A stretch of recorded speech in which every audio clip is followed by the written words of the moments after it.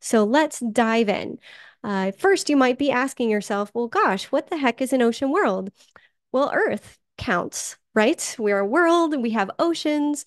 That's awesome. But what we're finding is that in the other parts of the solar system, Earth is the exception and not the rule. Uh, most of these other ocean worlds I'll be telling you about today, instead of having that water on their surfaces, they tend to have it underneath a shell of ice. Now, sometimes that interior subsurface liquid water ocean is in contact with the, the rocky insides of that moon. There, these are usually moons. Uh, sometimes there's another layer of what we call high pressure ice that's denser than water and actually sinks um, down at the, the base of that seafloor. And we'll talk a little bit about what that could mean for whether or not these oceans could host life. Um, but if there's one thing I want you to take from this entire experience this evening, it's that there are a lot of these worlds out there. Uh, these are just a handful. They're actually a lot more than I could even include on this slide. Uh, these are just a few moons around uh, some of our gas and ice giants, Jupiter, Saturn, and Neptune. Uh, but there could even be liquid water oceans eh, within places like Pluto, uh, that's a possibility as well. And so I'd like you to keep in mind as we're just touching on three of these places tonight, um, that there are a lot of diverse worlds to explore that seem to have the conditions for life as we know it uh, liquid water, chemical building blocks, and an energy source. Uh, so let's uh, go right in and let's zoom over to Jupiter first. So we've started on Earth. We have gone four more astronomical units away from the sun. An astronomical unit, of course, is the distance between Earth and the sun. That's one AU. We've done that uh, four more times to get out to Jupiter. Space is big. Uh, this is one of my favorite images that the uh, Juno spacecraft took fairly recently of Jupiter, which is a beautiful world. But I have to say, I'm a bit biased. While Jupiter is great, its moon Europa is what really captures my focus, my attention. This is what Europa looks like. Uh, you may notice that its surface has a lot of cracks on it.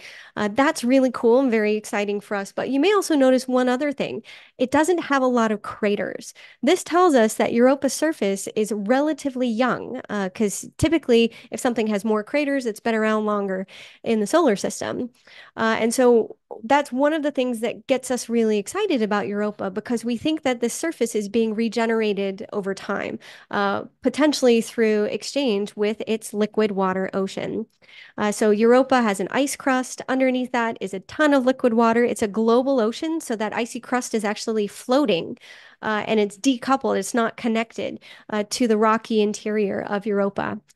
And the cool thing about Europa is that even though it's a bit smaller than Earth, it's about the size of our moon, actually, Earth's moon. It has more liquid water than all of Earth's oceans combined, about two to three times as much, uh, depending on which model you believe. That's a lot of water uh, which is pretty exciting from a habitability perspective. That means uh, looking for conditions where life could exist today, as opposed to a place like Mars, where it's much more probable that life may have existed in the past, um, but it's pretty inhospitable, at least on the surface there today. Now, what the heck is keeping that water liquid? Why isn't it frozen solid? Well, as it turns out, uh, Europa's orbit around Jupiter is not perfectly circular. That means sometimes it's closer to Jupiter, sometimes it's further away. And because of that, it experiences what we call tidal flexing. Basically, the whole moon sort of stretches and compresses as it goes around its orbit uh, of about three and a half days. And that flexing creates heat. And we think that's one of the reasons why this liquid water has stayed liquid for so long. Now, what this gets us excited about is not only does it keep that liquid um, from freezing, but it also opens up this potential for something called hydrothermal vents. Now, I wish this video was of the ocean of Europa. Maybe one day we'll get there. Uh, this is actually on in Earth's ocean at our sea floor. Uh, what you're looking at here are these beautiful chimneys that form when water it gets heated up by Earth's mantle and then spat back out into the very cold ocean waters the the hot water picks up minerals and then those precipitate out they crash out and form these gorgeous chimneys that are very energy rich because they give you a lot of gradients um, temperature concentration uh, all sorts of things that certain organisms can take advantage of to survive. And what you may notice in that video is that it wasn't just microorganisms that you could see there. You could see crabs you know tube worms octopods all sorts of organisms living in harmony and as far removed from sunlight as you can get, at least here on Earth. Instead, these communities subsist off of geothermal energy or hydrothermal energy, so energy from the warmth of the Earth. And we think that those kinds of systems, if there is an ecosystem alive and thriving in Europa's ocean, it might use similar energy sources because of that geothermal heating. And so we're really interested in understanding what's in that ocean. Uh, but it's not just what's in the ocean that is important for us, it's how any of those uh, biosignature molecules or evidence of life get transported up to the surface. Um, Europa's ice shell is on the order of like tens of kilometers thick, so multiple miles to tens of miles thick. That's a lot of ice, uh, but there are ways that material from that ocean could get up to the surface and be detectable uh, by future mission without the need to dig or drill. And that gets us to a mission that we have built that is sitting at Kennedy Space Center in Florida right now and is going to launch in about a month and a half. It's called Europa Clipper uh, because it's like a clipper ship. Uh, it has a bunch of instruments on board. Um, that's where the similarities end. It doesn't have sails like a, a, clipper ship does, although it does have very large solar panels, which you can see here. Those are what give this spacecraft its power. Uh, it's got a tremendously powerful payload, able to take what we call remote sensing as well as in situ measurements. So this is a, an artist rendering of what it would look like during one of our flybys. You can see Jupiter in the background. But again, Jupiter's gorgeous, not our primary focus for this mission. You're about to see Europa come into view. Now, the payload of Europa Clipper is meant to understand um, what kind of ice we have here. There are different types of ice. You can have crystalline versus amorphous. That tells us how it might have been processed or how it might have formed. Uh, also, those dark brown patches, we think that those could either be organics or certain types of salts. We're not sure yet based on the data we have right now. Uh, the Europa Clipper payload will be able to tell us for sure, as well as looking for and characterizing um, organic molecules and other signatures of what we call habitability to really understand if this ocean is suitable for life as we know it. And so this uh, this incredible spacecraft has a lot of different instruments on board. Um, some of them are meant to collect images, like the Europa imaging system, which we call EIS. Get it? EIS, because we're looking at ICE. It's so funny. Um, we also have uh, things that can map the composition. MISE is a, what we call an imaging spectrometer. So for every pixel of a photo that it takes, it gets a full spectrum from visible down into uh, the near infrared. That can help us identify salts and organic molecules. We can also look for hotspots with our thermal imager we'll be able to basically stick out our tongue and catch snowflakes. Any dust or ice grains that have been uh, propelled off the surface can be analyzed by SUDA as well as the gas, any gas molecules in Europa's tenuous exosphere, we will be able to analyze with MASPEX. We've also got ways of looking at composition of that exosphere, uh, as well as potential plumes on Europa with our UV instrument. And then we have uh, ways to be able to seek underneath that ice shell and get constraints on the thickness of that ice shell as well as the ocean with our radar. We also have plasma instruments that'll help us get an idea of the radiation environment and what kind of ions are around. Uh, and we'll be able to supplement that with our magnetometer, which is on this giant boom. Now, why do we have this boom? Well, this is a great uh, simulation showing all of the sources of magnetic noise uh, that we have just with the instruments and other electronics on our spacecraft, those can distort our signal. And so that's why we have to stick that particular instrument way, way out on the special boom that's going to, to um, deploy after launch. So if you'd like to learn more, go to europa.nasa.gov. We actually have a clipper cam that shows a live feed of the spacecraft sitting at Kennedy Space Center. We've been doing a couple of tests to make sure everything's good to go before we button it up, uh, stick it on the rocket, and send it off into space.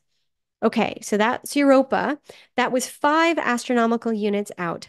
Now we're going to double that. We're going to go out to 10 AU. Again, space is big uh, to get to another gorgeous gas giant called Saturn.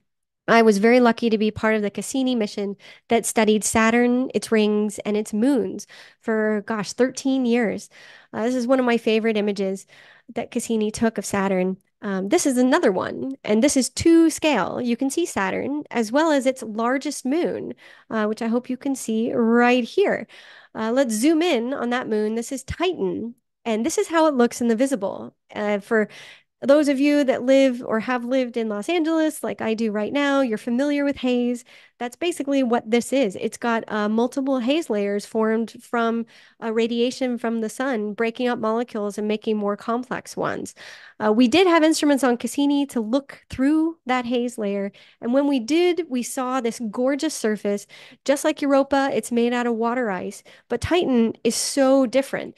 Um, it actually has liquid on its surface. Uh, this is one of my favorite images that Cassini took. This is in the infrared. And what you can see is a glint of sunlight up here off of a very smooth surface on Titan's North Pole.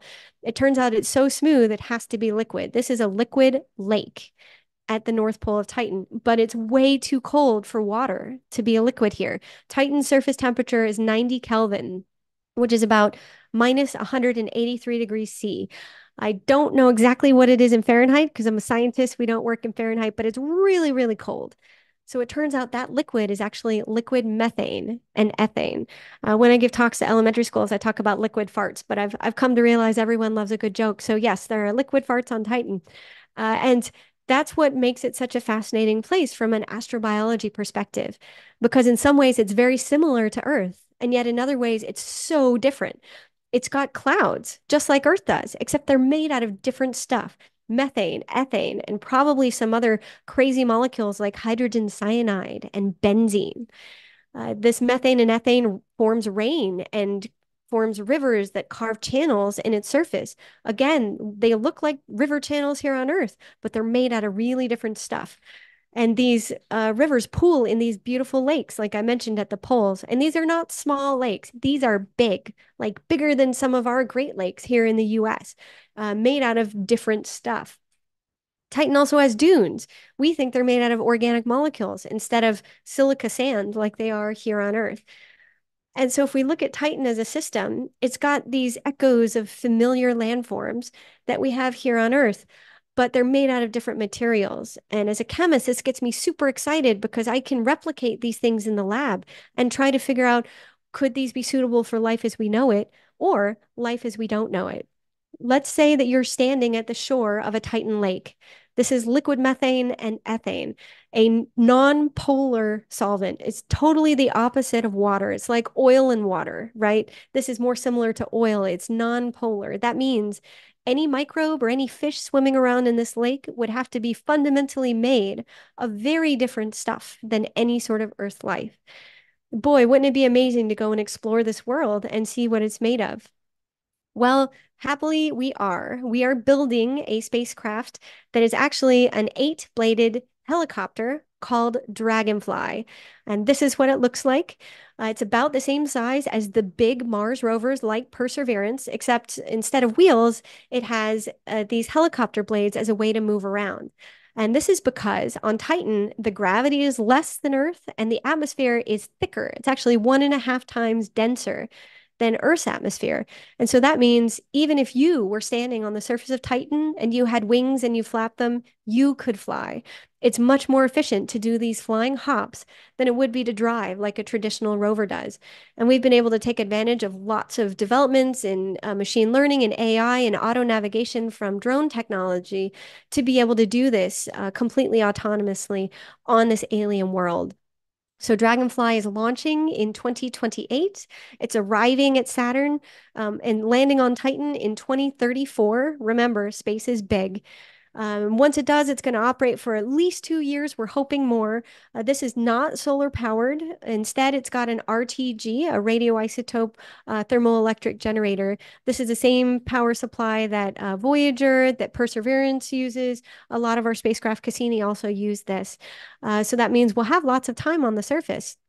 And we've got a whole bunch of instruments to be able to uh, measure and understand the complex organic uh, tapestry that Titan is made out of. It's going to be a really, really exciting uh, set of measurements. Every time we land, we're going to deploy this drill you can see here. And then we're going to take advantage of the fact that Titan has a thick atmosphere. We basically have a fancy vacuum cleaner. That's how we're going to suck the sample up into our sample carousel. And from there, we're going to fire lasers at it. And we're also going to heat it up to be able to look at the organic molecules that are present there. Some of the tests that we have on board of Dragonfly will be able to look for molecules that life uses, life as we know it, things like fatty acids, like you saw there, as well as uh, molecules like amino acids that uh, whether we have a wild form of life or life as we know it, it's quite possible that any sort of organism might use those types of amino acids. Here you're seeing a test for what's called chirality, which is a way to determine if those amino acids have been affected by life or not. So a lot of very exciting measurements that will be made with this mission. If you'd like to learn more, just Google NASA Dragonfly. Uh, the Johns Hopkins University Applied Physics Lab is building this, but in collaboration, funded through NASA and with collaboration of a lot of NASA scientists and engineers uh, like me. So Titan is fascinating, but it's not the only amazing world that uh, is in orbit around Saturn this is one of my other favorite images that Cassini took of a different moon. This one's called Enceladus. Now, this is a relatively tiny moon. It's about the size of the state of Arizona, but small things can be mighty. I'm a short person, I'm 5'2, so I totally understand that small things can be mighty. And here you are seeing a plume of material that Enceladus is spewing out into space from its south pole. If we zoom in a little bit closer, uh, you can see that there are massive cracks in Enceladus's ice shell. We call these four large ones the tiger stripes because it looks like a tiger went like that and just did a massive swipe of Enceladus's south pole. And that's where this material is emerging, forming a plume that's made up of gas molecules as well as ice grains that used to be water droplets, but they freeze when they get into the vacuum of space. These water droplets, as well as those gases, are sourced from Enceladus's liquid water ocean, just like Europa and just like Titan. I didn't mention it. Titan also has a liquid water ocean deep underneath its ice shell. But here at Enceladus, that liquid water ocean is accessible. It's being sprayed out into space. It's basically the universe's way of saying, hey, NASA, are you interested in finding out if this ocean has life in it? Come on by, free sample. And this was something that was discovered by Cassini, and Cassini was able to fly through this plume multiple times, but it was not designed to be a life search mission. So we got some tantalizing data uh, from Cassini that told us that Enceladus seems to have all the ingredients for life as we know it, but its instruments were not sensitive or powerful enough to actually look for that life itself. A follow on mission would have to do that. Now let's take a closer look at these tiger stripes.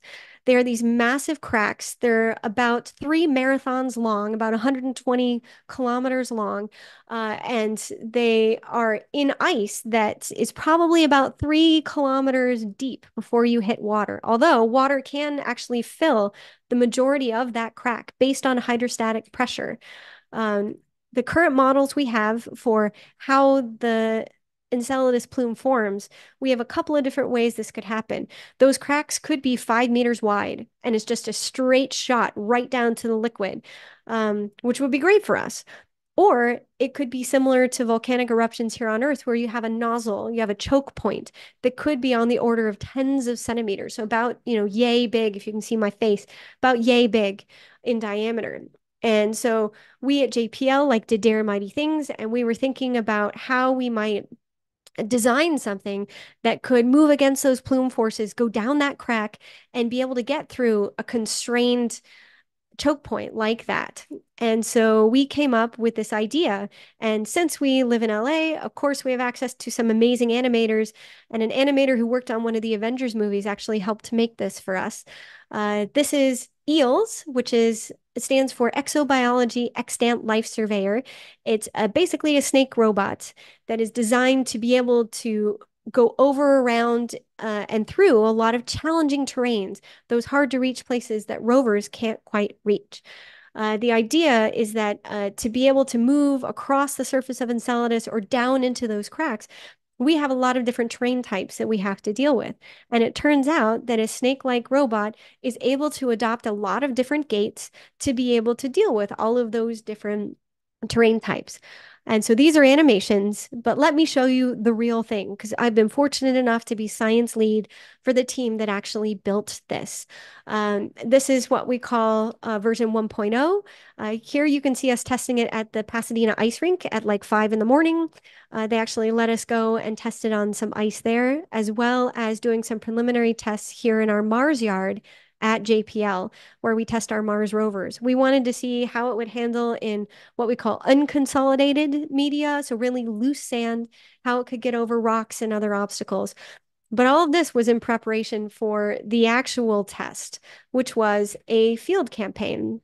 Uh, we went last September to Canada uh, to Athabasca Glacier, uh, which we felt was the perfect analog environment, or at least as close of an analog as you can get here on Earth to an ocean world like Enceladus. This allowed us to be able to test both how our robot moved horizontally across the surface as well as vertically within some of these crevasses and moulins that you'll see in a moment. Uh, we also were able to see how it, how it was able to interact with realistic ice. Uh, real ice in the real world has contaminants in it. It's got different morphologies that are challenging to replicate in a lab, or at least in a lab, you can do things in a more controlled way. We wanted to see how just uh, natural um, effects could change how that ice, excuse me, how that ice could form and behave. Um, and we also did some tests of some of the composition of the various melt pools while we were there to be able to contribute to earth science. Because a lot of what NASA does is not just studying other worlds, we also study our home here, the Earth. About a third of what NASA does is earth science. And so that's me.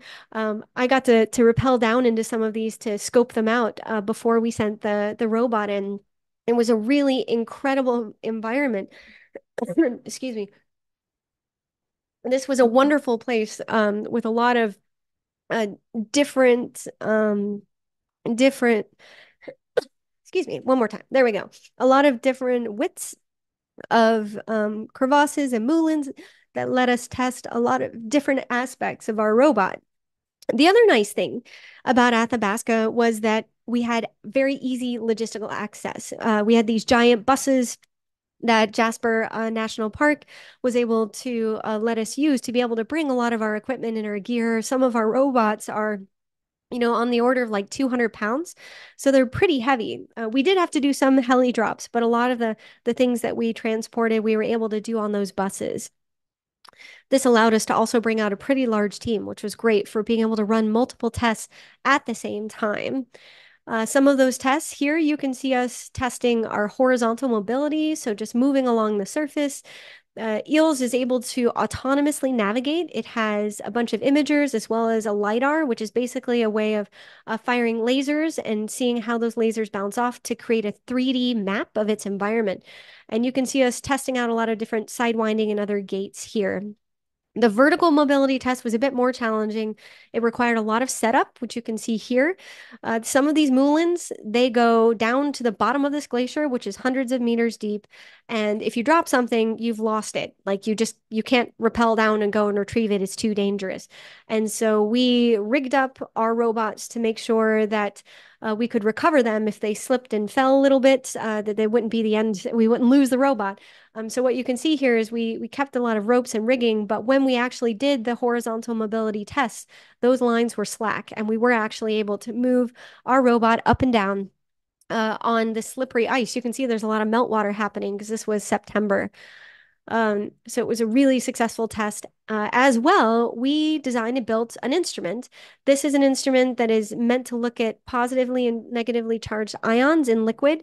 It's meant to be able to fit in one module of the EELS robot. Uh, we operated it independently, so we could do some tests while they were doing the mobility tests. Um, but it was a great way to be able to prove that there are all sorts of payloads that could be accommodated on a robot like this. Um, this is another artist concept showing what a version of EELS might look like on the surface of Enceladus one day. And I want to leave you with a quote from Carl Sagan uh, that I think really motivates why it's so important to be able to move on these alien surfaces. Uh, Carl, of course, uh, worked on the Viking rovers as, in, as well as was an inspiration for many of our planetary science missions like Voyager. And the two Viking landers were immobile, they weren't able to move. And back then, he spoke of being incredibly frustrated with not being able to, you know, look under that rock or go on your tiptoes and see just a little bit further how limiting it was to be stationary. And so that's one of the things that drives us to develop these new robotic architectures so that we can get to those interesting and hard to reach places. With that, I'd like to thank you so much for your time and attention. Uh, of course, the things that I've spoken of required massive, massive teams, many more names than I could mention here. Um, and so, a giant thanks to them and a thanks to you for your attention. And with that, I'm more than happy to take questions.